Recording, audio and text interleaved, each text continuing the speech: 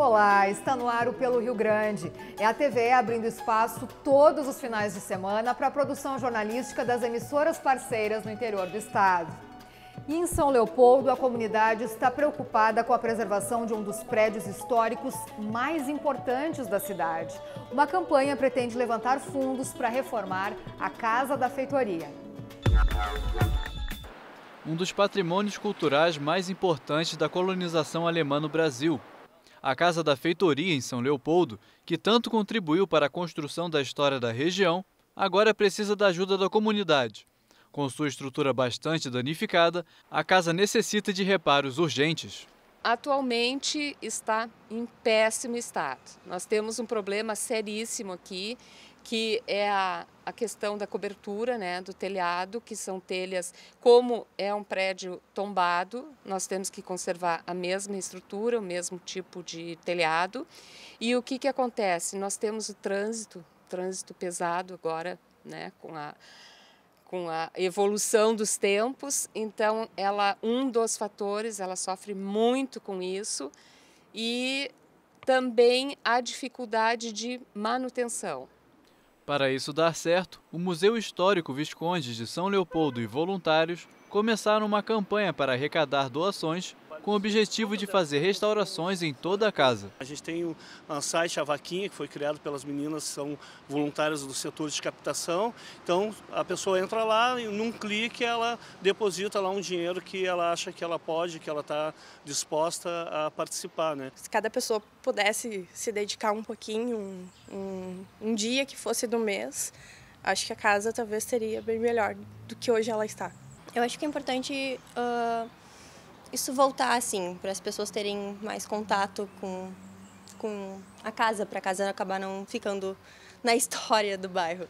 A Casa da Feitoria representa dois fatos importantes na história de São Leopoldo e do Rio Grande do Sul. Primeiro, foi sede de uma grande fazenda imperial administrada pelos portugueses, e depois acolheu os primeiros imigrantes germânicos, fazendo com que a cidade recebesse, em março de 2011, o título nacional de berço da imigração alemã. Com toda essa importância histórica para o Estado e para o país, uma pequena ajuda pode fazer que toda essa memória permaneça viva. Estamos começando a fazer, a movimentar também a comunidade em, né, em função dessa questão de manutenção. Qualquer valor que a gente receber vai ser importante para o museu. Agora, as pessoas têm que, que, que, compreender o seguinte, que quanto mais alto for o valor que a gente conseguir arrecadar, melhor é o serviço que a gente vai poder prestar. Mais tempo a casa vai poder estar aberta, né, as, as condições da, da casa, da instituição, do acervo, da, da, da expografia, né? de, de ter lá uma pessoa que seja guia, que leve as pessoas, que receba as escolas, que receba o indivíduo. Né? Tudo isso, quanto mais recurso a gente tiver, mais a gente pode investir neste bem. Né? A CE e a Universidade de Passo Fundo começam a trabalhar em parceria para desenvolver soluções tecnológicas que aumentem a eficiência das redes de transmissão de energia elétrica. Os projetos serão desenvolvidos no UPF Parque. O Luciano é engenheiro elétrico, formado pela UPF e recentemente terminou o mestrado em engenharia mecânica. E foi na pós-graduação que ele, funcionário da CE, teve a ideia de criar um produto, seccionadores de energia. A ideia do Luciano é evitar problemas de mau contato na energia, para assim garantir a estabilidade do fornecimento e diminuir a falta de energia ao consumidor. Foi o problema de mau contato em chave seccionador, uh, que uh, era dado o comando elétrico para fechamento e o operador tinha que ir com bastão de manobra auxiliar no fechamento para não gerar um mau contato que venha dar um ponto quente e danificar os contatos do seccionador, é, que pode causar uma interrupção no fornecimento de energia para a comunidade. Sem contar o risco do operador indo com o bastão lá para fazer isso. Com certeza, é um, é um risco grande, porque as tensões que se trabalha em subestações da transmissão elas começam com 69 mil volts, 138, 230 mil na CE. As outras funcionárias do, eh, do país chegam até mil volts. O nome do projeto do Luciano é Dispositivo para auxiliar o fechamento de chave seccionadora. Este é um produto que, depois de concluído e testado, vai auxiliar e muito na distribuição de energia de alta voltagem. Por ser um equipamento muito grande, tu não ter a possibilidade de fechar ele bem como, como deve ser, gerando o mau contato e eh, proporcionando assim, uma possível falha, né, que pode demorar meses ou anos para ocorrer, mas infelizmente ele vem a, a ocorrer. E é isso que tu quer evitar. E é isso que eu quero evitar. O PF Park vai oferecer a estrutura e ajudar na pesquisa do Luciano. A patente já está garantida e o recurso também. Agora a próxima etapa é iniciar efetivamente a construção de protótipos, levar para campo, testar, avaliar a resistência e ver como é que se comporta. Né? Quantos vocês querem fazer assim?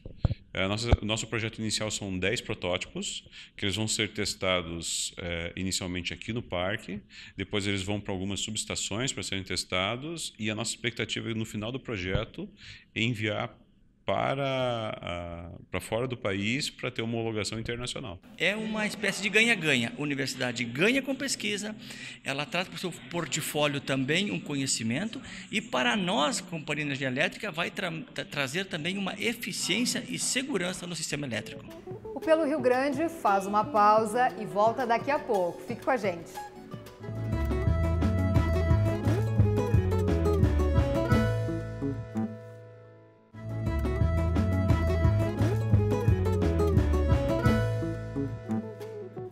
Acordo com o IBGE, 6% da população brasileira tem algum tipo de deficiência. Por isso, é preciso que toda a comunidade participe dos processos de inclusão e de reabilitação. Em Passo Fundo, uma ONG é a única no Brasil a oferecer a prática de educação condutiva, um método de fisioterapia inovador que você vai conhecer agora.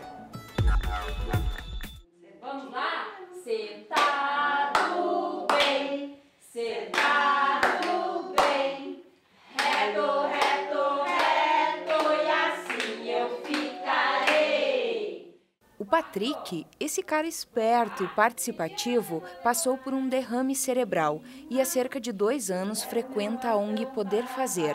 Por meio dos comandos da físio Aniele e com o auxílio da Mãe Maria, ele realiza exercícios variados de maneira coletiva, que estão estimulando o desenvolvimento de reabilitação dos movimentos. Pop, pop, eu canto sem parar. Você gostou dos exercícios que a físio, a Pro, passou para você?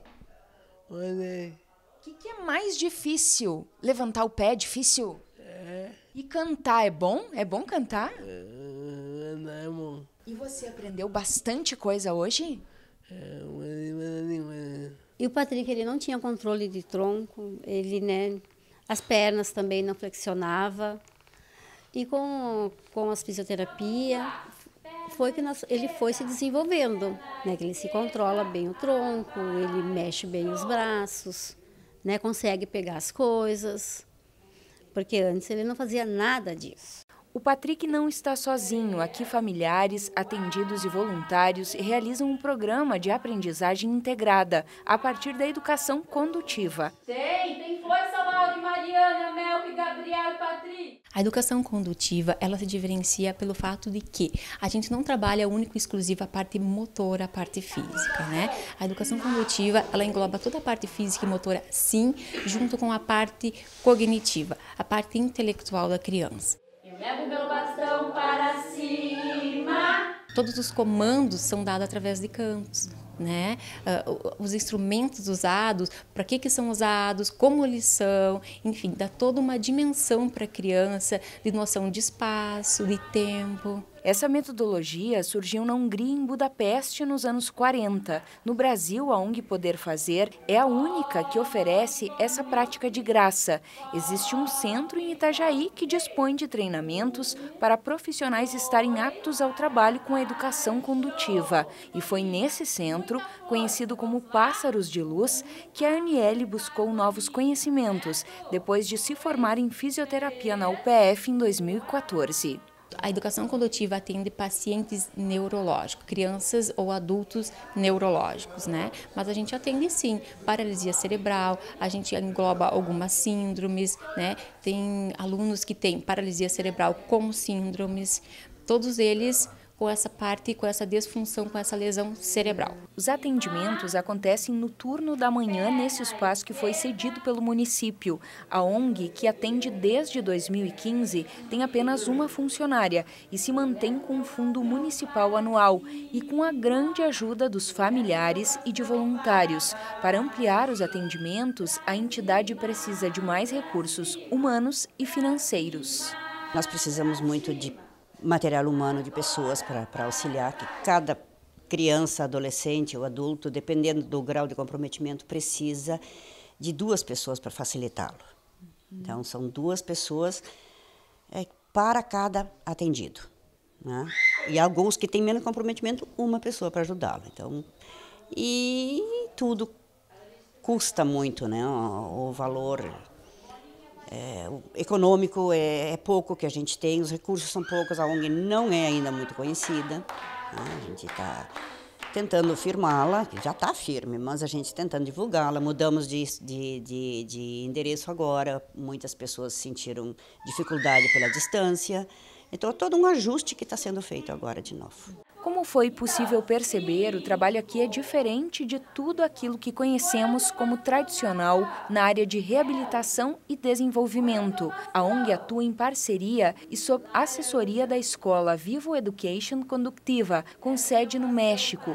Obter a máxima independência pessoal e social e adquirir autonomia é um dos principais objetivos da ONG. A independência que eles tiver, para nós está ótimo. Seja uma independência talvez uma cadeira de roda, mas com independência de membro superior, já consegue ter independência. Cada avanço é uma conquista, merece aplausos. Vamos palmas pro Melk! E o que, que você mereceu hoje no final do exercício? Uau, uau. Muitos bravos? É. Vamos lá, um bravo pro Patrick!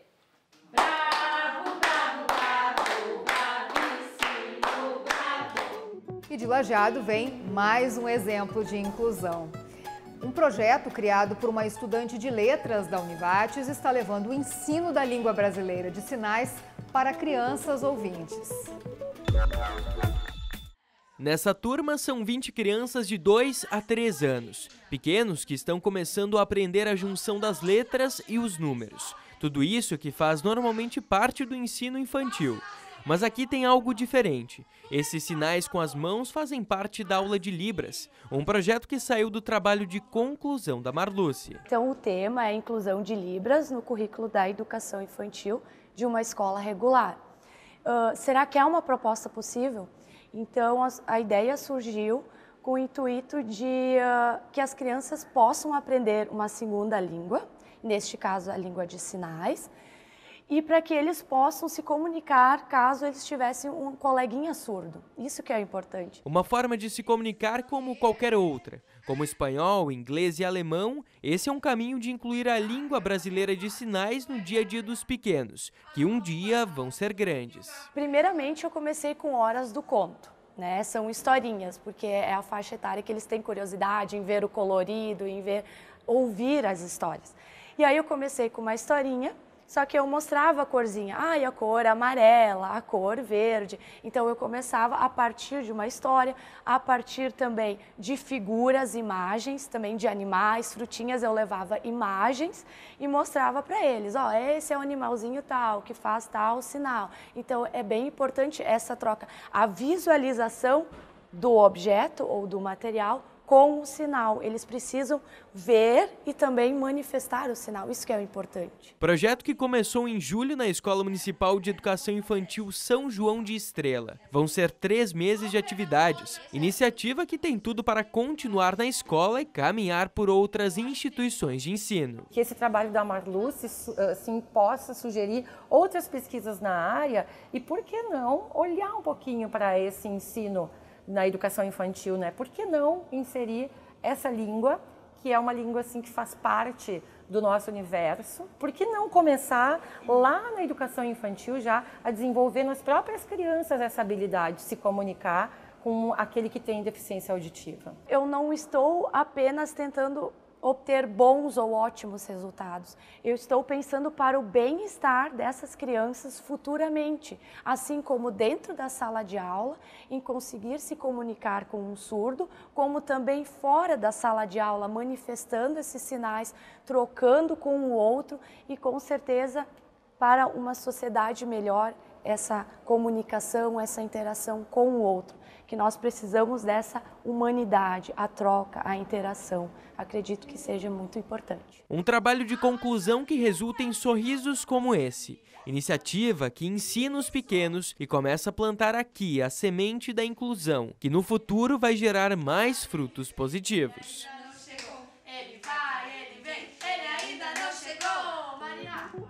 No próximo bloco, vamos na Esmeralda conhecer o Memorial José Mendes. A gente já volta.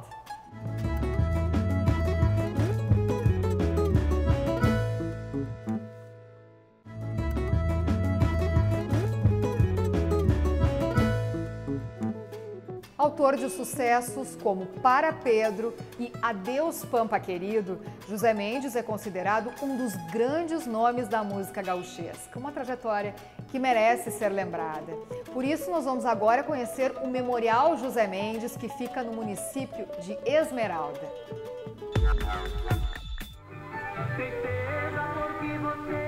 Não vai embora e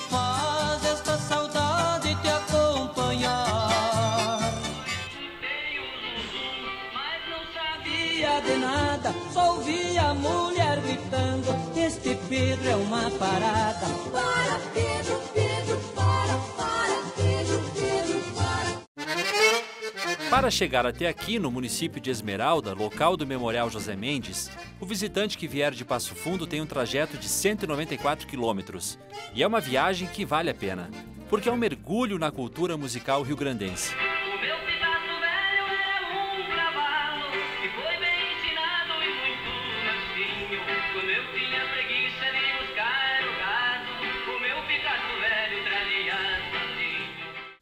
Patrimônio Histórico e Cultural do Rio Grande do Sul, este foi o primeiro memorial construído para um artista gaúcho aqui no estado. Depois desse, surgiram outros museus em homenagem a artistas rio-grandenses, como por exemplo o dos irmãos Bertucci, que está em Caxias do Sul, e também do Teixeirinha, em Passo Fundo, na Roselândia. Bom, para você ter uma ideia, aqui no mês de novembro, esse local recebe 5 mil pessoas que vêm para cá para acompanhar o Esmeralda Canta Zé Mendes.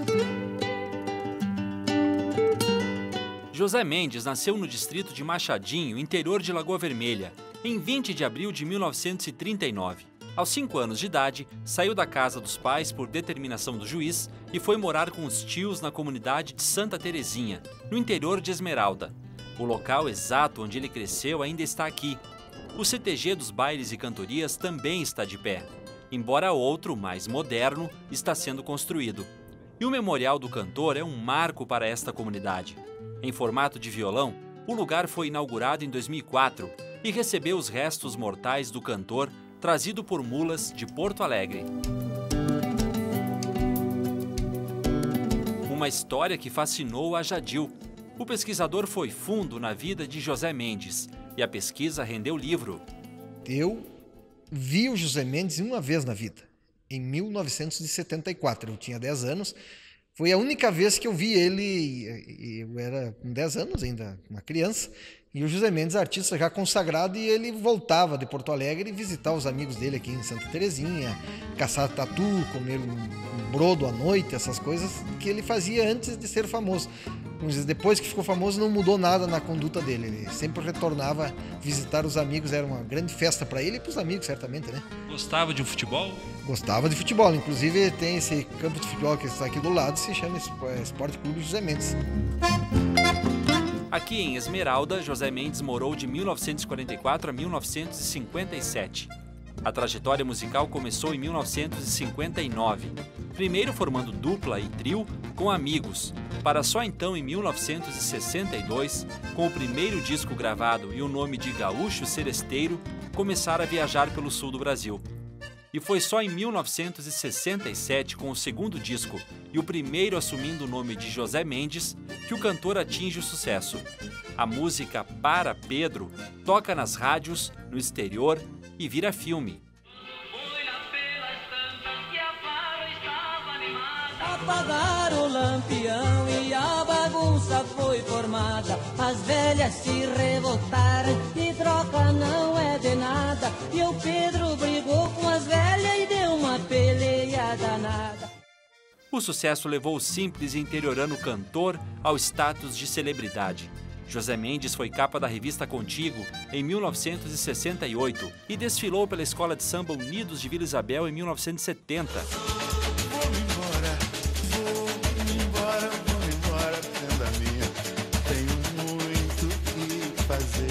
Um convite de Martinho da Vila. A partir daí, músicas como Não Aperta Parício, Era só na base do apertão e a mulher reclamava baixinho. Não aperta, Paris, não aperta, não aperta, Paris, não aperta.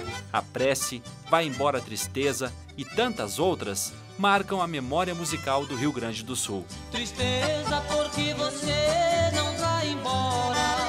Então, o que, que me levou a escrever sobre o José Mendes foi curiosidade de descobrir a vida de uma pessoa que aqui em Santa Terezinha, se eu te contar, tem pessoas aqui de Santa Terezinha que talvez não, nunca entraram aqui dentro. Porque o José Mendes não é nenhuma novidade, faz parte da vida deles, é, é do dia a dia. E é a Sandra quem cuida do acervo. As férias de verão, né? Então tem muita visitação, o pessoal vem, né? E como tem horário de verão, normalmente eu eh, fecho às 5, mas eu fico aberto até mais tarde, porque vem muita gente mesmo, né? Além de conter objetos pessoais, aqui tem também presentes que José Mendes recebeu de amigos, como esta viola oferecida pela dupla Tonico e Tinoco. José Mendes morreu em um acidente de trânsito no dia 15 de fevereiro de 1974, com outras três pessoas, no trajeto entre Pelotas e Rio Grande. A caminhonete veraneio colidiu de frente com um ônibus. O cantor deixou esposa e um único filho, que hoje se apresenta como José Mendes Júnior.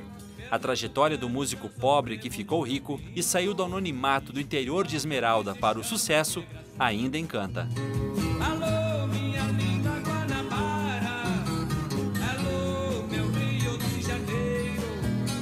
Brasília, capital da nossa terra.